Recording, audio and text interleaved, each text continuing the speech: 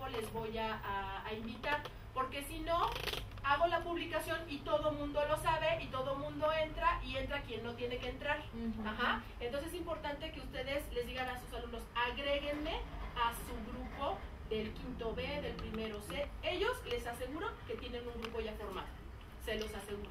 Porque así yo pregunto en todos mis grupos y si, ah, sí, ya tenemos nuestro grupo, fulanita es la, la, este, la administradora. Agrega.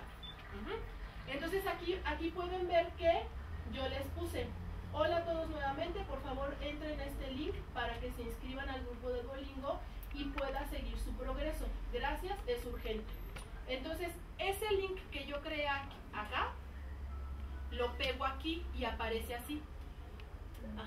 Entonces, el alumno cuando ve el mensaje le da clic y le dice, estás autorizando a fulanito de tal, en este caso a Zoila, eh, ver tu progreso. Eso es todo. Ajá. A partir de ese momento yo ya puedo ver a mis alumnos. Entonces me voy a regresar al que ya tenía y aquí yo ya veo a, mis, a mis alumnos. Lo que les mencionaba el profesor Mario. Puedes ir a progreso del curso para que vean un poco más. Ajá. Lo puedo ver tan, eh, tanto detalle como yo quiera. Ahí nos menciona exactamente qué unidades ha hecho cada alumno. Acá se pueden dar cuenta que quién ingresó, pero ha hecho básicamente dos unidades. Entonces esa es la gran Y se ha saltado unidades además. Tengo seis grupos de 50 alumnos, pues los puedo evaluar en un ratito. ¿Por qué? Porque ahí aparece. Ahí aparece. E incluso si yo quiero entrar, por ejemplo, a este alumno. Ah, no, ese es para moverlo. Sobre el nombre, ¿verdad?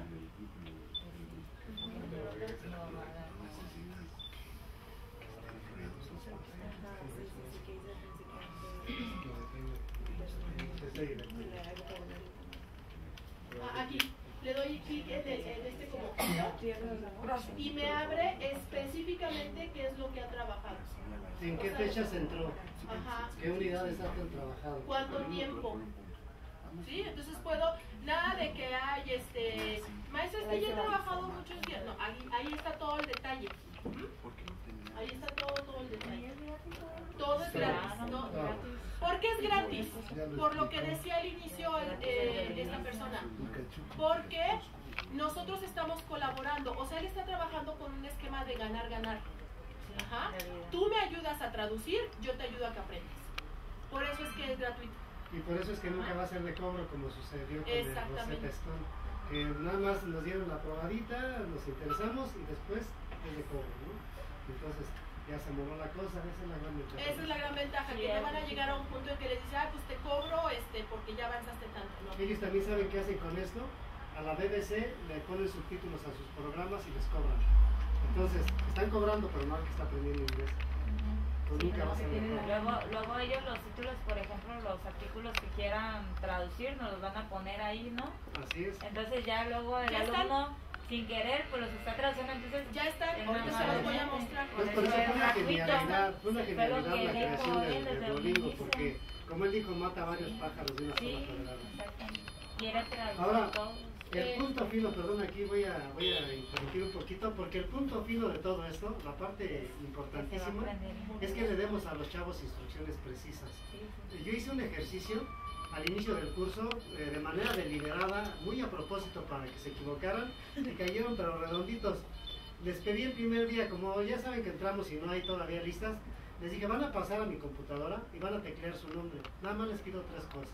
Número uno, con puras mayúsculas. Número dos, empezando con apellido. Número tres, cuando terminen, le dan clic para que se pase al siguiente renglón. Pero eso lo apunté en el pizarrón, de manera deliberada. 27 alumnos me dijeron, con puras mayúsculas. 13 me lo escribieron empezando por el nombre y la mayoría no le dio el maldito clic. Entonces, con eso les demostré, les digo que a mí me gusta cuando los chavos son revolucionarios y te argumentan y te contradicen, pero cuando hay que seguir una instrucción, hay que seguir una instrucción. Y entonces les dije después, con esto queda claro que me interesa que sigan una instrucción porque les voy a dar una instrucción para este proceso. Cuando tienes uno o dos grupos, dices, ah, yo los doy de alta. rapidísimo. Pero cuando tienes nueve grupos, como es mi caso, entonces más te vale que lo hagan ellos. Y entonces para eso son las redes sociales como el Face. Y entonces se los dicté. Una de las cosas más importantes que anotes tu usuario y contraseña, porque 8 de cada 10 o la olvidan o no la escriben correctamente. Son princesas, pero ya no se acuerdan si con una S o con dos. Y entonces así este, no podemos avanzar porque después le van a decir, maestro, le juro que ya lo hice y le juro que la computadora, esto falla, está maldita la computadora. Entonces se los yo llegué al extremo de dictárselos. Usuario y contraseña, de preferencia copiado y pegado en un documento del Word y resguardado para cuando te lo pida, porque en algún momento te lo voy a pedir. ¿Para qué? Porque falló la computadora, porque ah, no importa, pasa mi computadora y aquí abrimos tu, contraseña. Aún así, en el curso de capacitación que di en mi propio plantel, de seis maestros del turno despertino a cuatro se le olvidó su maldita contraseña.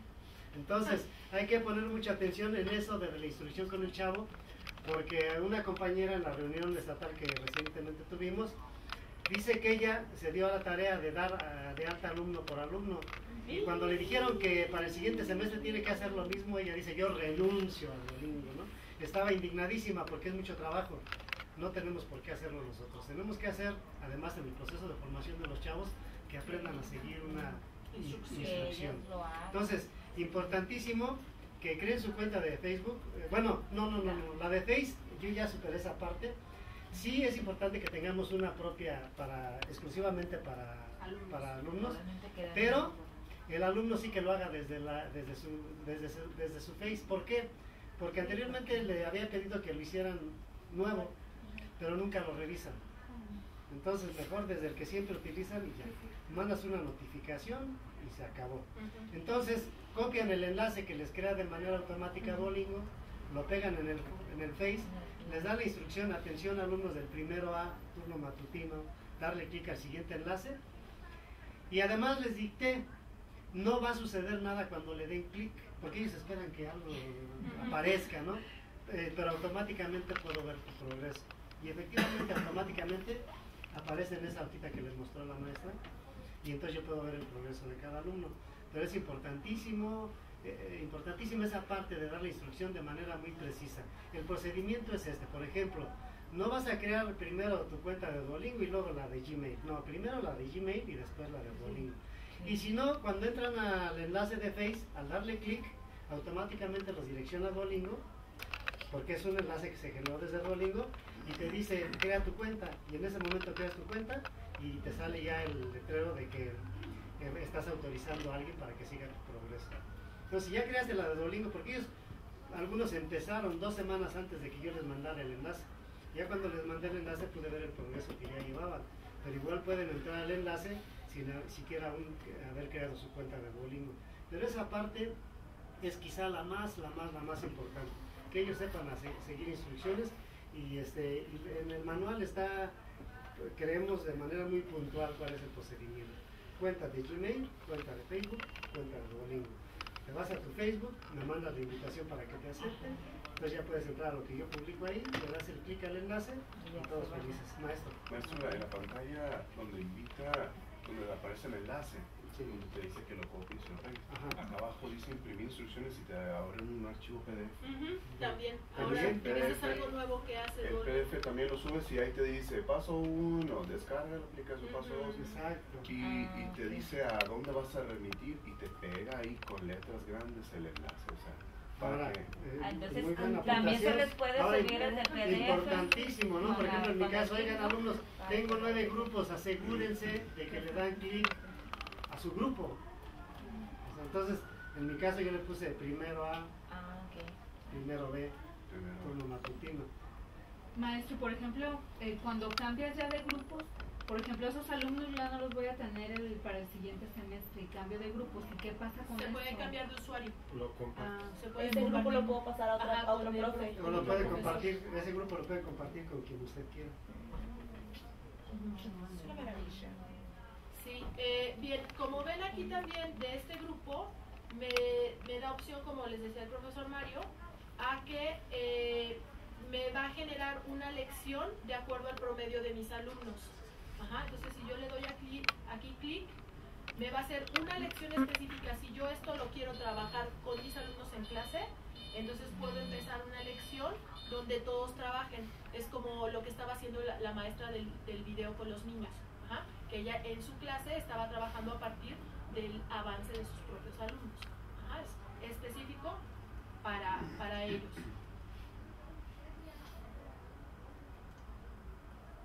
Estando en la parte de Duolingo for Schools, es que eh, del lado superior derecho hay la posibilidad de compartir los grupos. Ajá. Y también el vocabulario me está diciendo que también hay vocabulario específico que ellos pueden trabajar y aquí me abre esta sección para que yo también pueda trabajar en el aula con ellos. Ajá. Y si ven, dice próximamente más actividades y juegos para tu salón de clases. Era lo que les comentábamos, que es una aplicación que está viva, que todo el tiempo están viendo, ah, pues los usuarios requieren esto, este, vamos a darles esto. están abiertos a, los comentarios de nosotros. Como decía el profesor Mario, estuvieron aquí los de Dolingo Latinoamérica, tuvimos un, chat con ellos este, virtual, con una persona que es de, del área de, mm, no me acuerdo, creo que es también dirigida a Latinoamérica, este, que nos estuvo comentando desde Nueva York todos los, los avances de Duolingo y, eh, hubo sesión de preguntas. Entonces están muy abiertos a lo que el usuario requiere. por eso es que se está modificando constantemente. Ahora, eh, una cosa muy, muy interesante de, de, esto y una de las, em, de las cosas que, que nos gusta es que en esta parte de detalle de actividad, si ven aquí, dice hoja de cálculo. Si yo le doy clic, automáticamente esto me genera una hoja de Excel. No, hombre, ha sido más chido. Ha sido más chido, exactamente. Entonces yo ya puedo ver, por ejemplo, ahorita no voy a bajar la hoja de Excel, pero ya la tengo aquí de, de mis alumnos.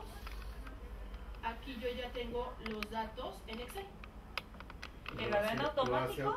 automático? Nada más le digo, bájame el archivo, me lo descarga y ya. Y por ejemplo, yo en mi, en mi plantel, yo soy presidente de academia. Entonces yo les digo a mis maestros, maestros, mándame todos tus archivos de Excel de tus grupos, porque a nosotros a nivel DF nos están solicitando constantemente información. Entonces yo ya no tengo que andar contando a los alumnos ni, decir, ni decirle al maestro, oye, este, ve y ponte una noche ya a contar a tus alumnos. No, simplemente me, me mandan el archivo de Excel actualizado y punto. Una pregunta. ¿Alguno de ustedes ha trabajado Duolingo con sala de, de, computación? ¿Un aula de medios? No. No. No tenemos la infraestructura Y aunque la tengamos, no nos da tiempo. Yo, por ejemplo, yo en mi plantel tengo la dicha de que sí estamos bien equipados pero no, no me da tiempo. O sea, si yo le doy mucho tiempo a Dolingo en la clase, no termino mi programa. Además de que parece ser poco viable porque, porque el alumno no avanza al mismo ritmo. Entonces podría uno decir, vamos a ver este tema hoy y no, no funciona. Hay quien necesita repetirlo 20 veces quien a la primera ya lo hizo.